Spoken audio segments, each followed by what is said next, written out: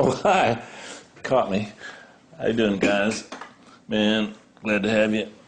I'm doing a, a show today about um, loops. Now, before before all you rockers and uh, heavy metal guys change the channel and start watching Jersey Shore, um, this is applicable to everything because you can take your you can take live drums print them to a stereo track and do these techniques and, and then add that back into your original sound and get some really cool stuff. It's, it's, and, it's, and a lot of these techniques are applicable to uh, uh, auxes where you do an aux on all the tracks or whatever, whatever. But I'm using loops to kind of demonstrate it because that's kind of how I came up with a lot of this stuff. Well, I'm just going to jump right in because I think it's self-explanatory. So I've got this loop here. I've made uh, one, two, three, four, five. One, two, three, four, five, six. I've made six copies of it. And so all of these are the same loop. They're identical, but we're gonna we're gonna apply different techniques. I've got all these muted except for one. So guys, this is this is the loop.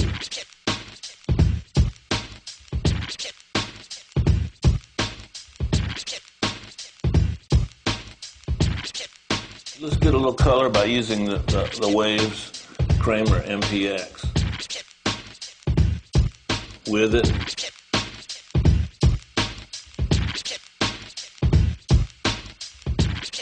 That's, that's pretty cool.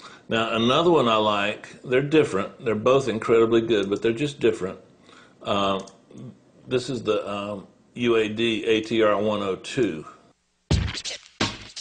with it.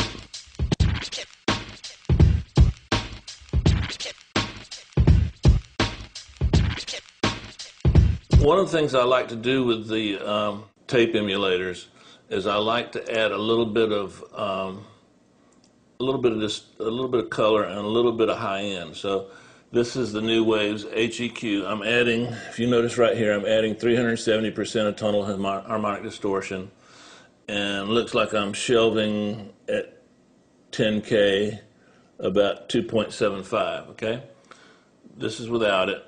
Uh, with it.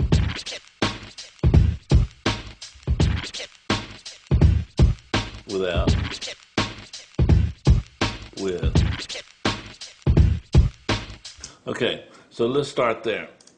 Now, um, we've made a copy right here, this, this, this guy here, and, and on this track, if you notice, the high end wasn't quite right. So what I've done, I made a copy of the track,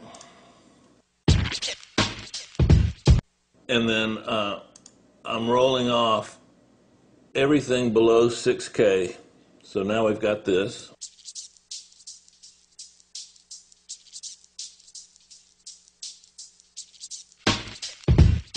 Okay, now I'm gonna I'm gonna enhance that top end just a little bit. This is uh, another Kramer HLS. It's it's got a color to it I like for this. So this is um, this is with it.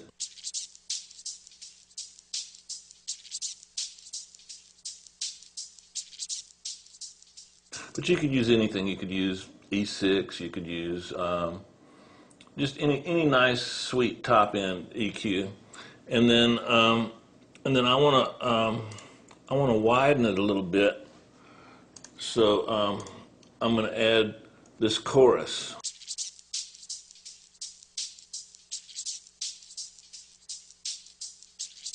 Okay, why are we doing that, Dave? Well, here's our original. Now watch, watch the little cursor. I'm going to add this in after one time three.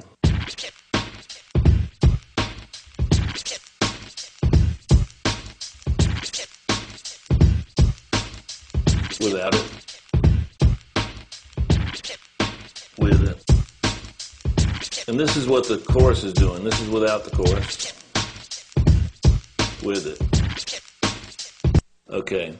Now, I want to get a little bit of mid-range in there so uh, it's not pumping like I'd like. So I'm here again. I'm putting the, I'm putting the F2, uh, rolling off a little sub, rolling off a little top, and then I'm adding the SPL. And so now this is what I've got. Just this track.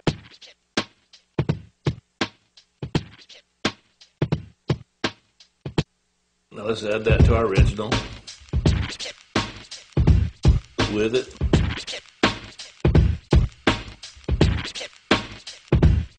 Without it. Now, uh, I'm gonna save this one. This one, uh, I'm gonna go to, to, to this one. Now, now I'm gonna add a little bit of low end. We're gonna roll off everything above 210 cycles. So let me make sure we're only monitoring the one track.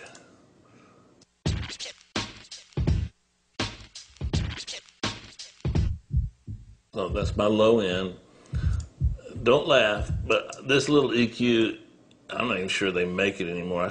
I saved it because it, it's just, it just, anything from about 100 cycles down, anything about 80 cycles down. I love this old, old, old Digi EQ.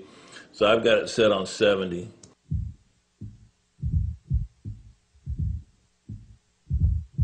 Let me exaggerate it for you.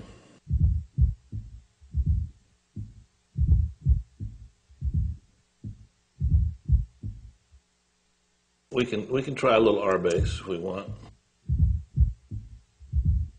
Okay, now when I add that back in to the original,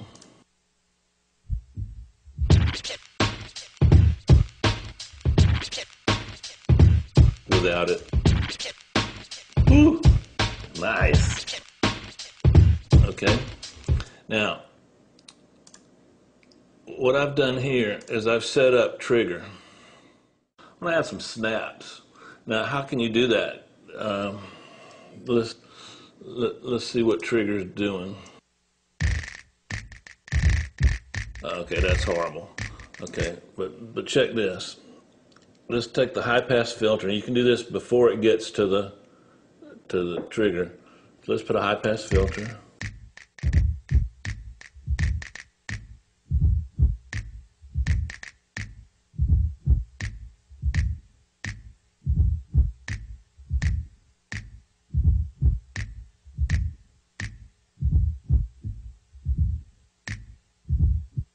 Now I'm gonna raise my input because I lowered I lowered the volume.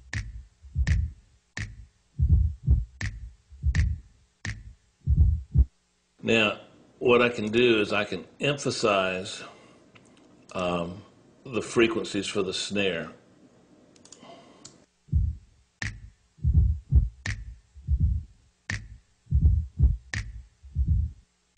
Okay, so now we got we've extracted just the snare out of the loop to trigger with. Sometimes you want a little more stereo-ness out of the loop, like maybe, uh, and, and, different things are going to be affected by the stereo wideners.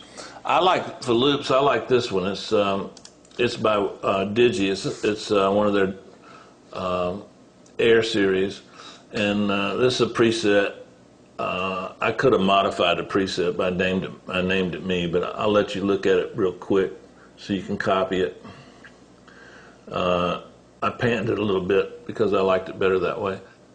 Okay, so here's here's the loop without it.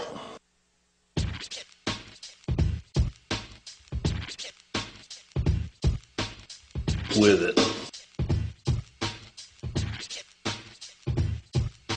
Okay, so now let's add that back into the original.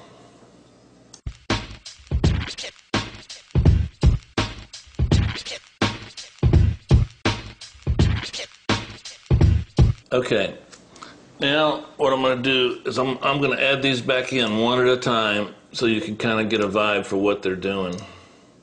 Okay, here we go. Here's, here's our original loop.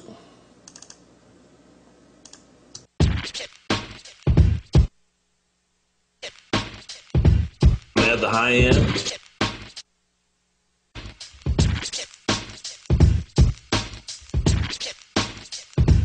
I'm gonna add the smack. Widener. Sub.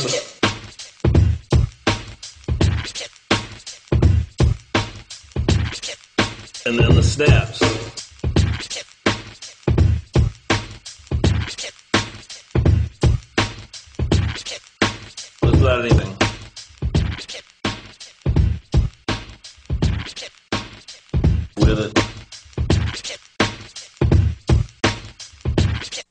Okay. Round of applause for me. Um, but what I'm telling you guys is is these are techniques that can be applicable to a lot of different situations. It's a it's a modified form of, of paralleling. You've heard parallel compression. Well, this is kind of like parallel everything, and then and then once you've got the high end isolated, you can do unique things to just that. You can chorus it. You can put just reverb on it. Uh, if you wanted a little bit of reverb on the loop for the snare, you could you could uh, use another snare sample instead of the snaps. Do what we did to isolate it, and then send that to a reverb, and only have the reverb play, not the original sound. So that would add reverb to your snare. If you wanted it to be generated by your snare, you could sample just the snare, but not play it, not not add it back in. Just add the reverb that it generates back in. So there's a lot of different things you can do with this technique, and it's applicable to every. Um,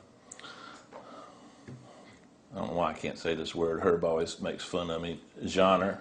Is that right, Will? Genre. Oh, genre. Sorry. Um, man, we got a French guy on the show today, and I can't even pronounce that.